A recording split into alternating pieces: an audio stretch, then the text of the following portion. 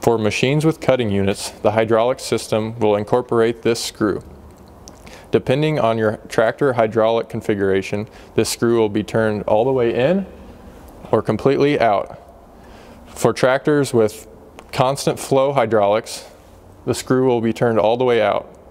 If your tractor has constant pressure or load sense, the screw will be turned all the way in.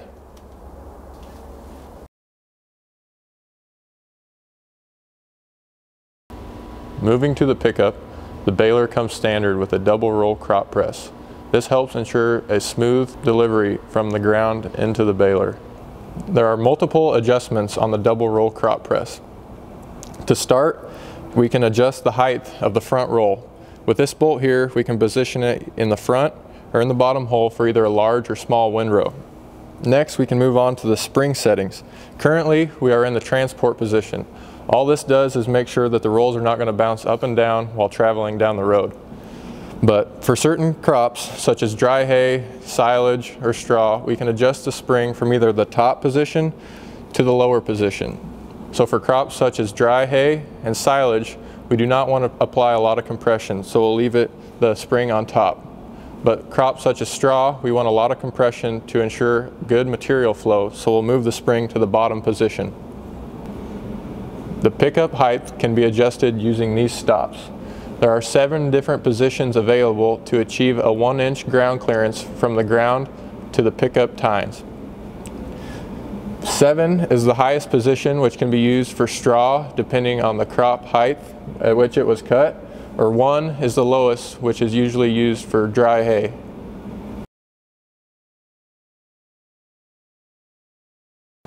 After setting the pickup height, we can adjust the pivoting gauge wheels. With these adjustments, we want the gauge wheel to be slightly off the ground. This will protect the tines from hitting the ground due to any uneven surfaces.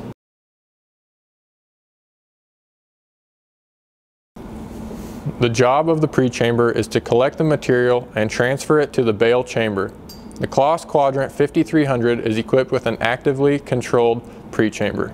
This pre-chamber is equipped with two sensor bars that help ensure a perfect flake. The core of the pre-chamber is the gearbox-driven feed rake with its control cylinder and the two sensor bars located in the pre-chamber.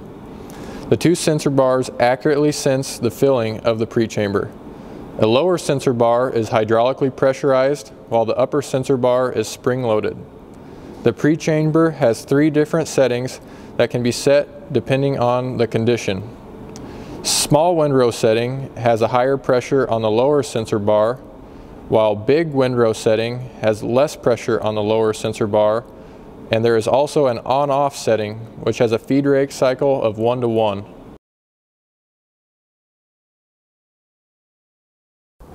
The Quadrant 5300 is equipped with a hydraulic drop floor. This drop floor can be used to access the knives. To service the knives, we will first lock the drop floor into place. We can now drop the floor.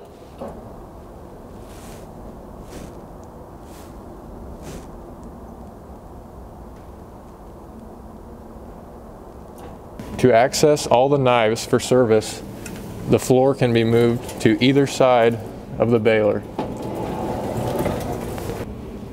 To access the knives, and then remove them, we must first unlock them.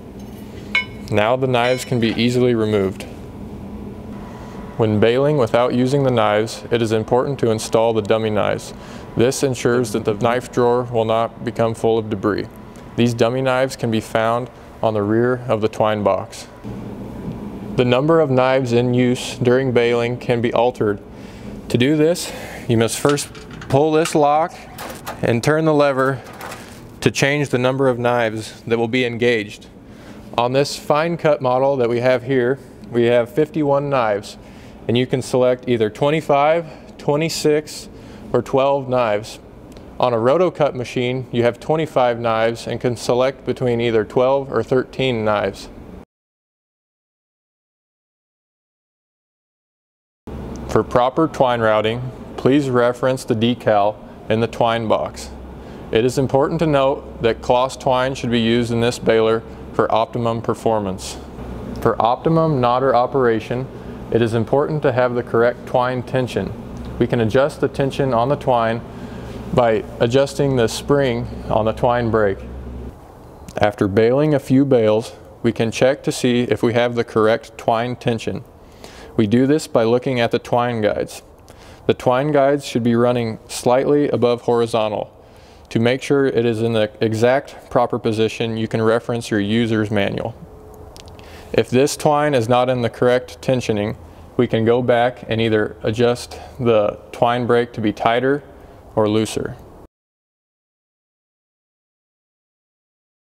Now we'll move to the top of the baler where we will discuss knotting and tying adjustments.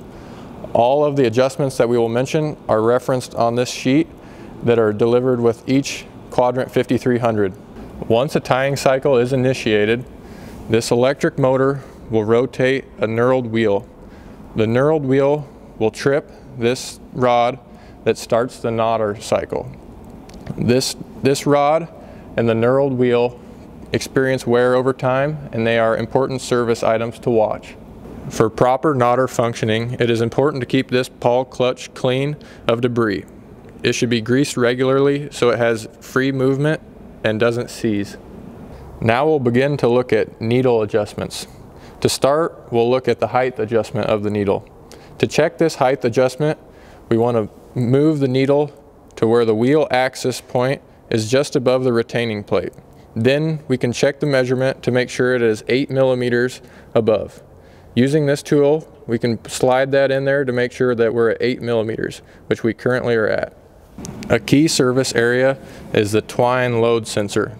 This sensor needs to be kept clean of dirt and debris to maintain proper functioning of knotter monitoring and automatic pressure control. To check needle penetration, we will turn the flywheel until the needles are at top dead center. The recommended setting for needle penetration is 105 millimeters from the wheel axis to the retaining plate. We can check this with the tool provided to see that we are at 105 millimeters. We will now check the needle alignment to the knotter.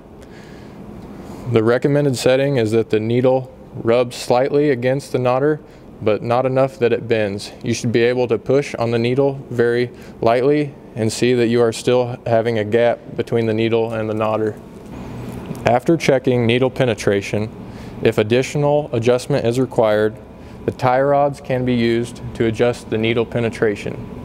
It is important to note that needle penetration must be fairly equal across the knotter shaft, so it is okay if the tie rods are set to different lengths. Beneath the baler, you will find the area for adjusting needle height and alignment. To adjust the needle alignment, you can see this clamp here clamps the needle to this bar. To adjust this, there are four bolts that need to be loosened, and then you can slightly move the needle either left or right, depending on what alignment is needed. Once you have reached the required alignment, you can tighten those back down and secure it to the bar.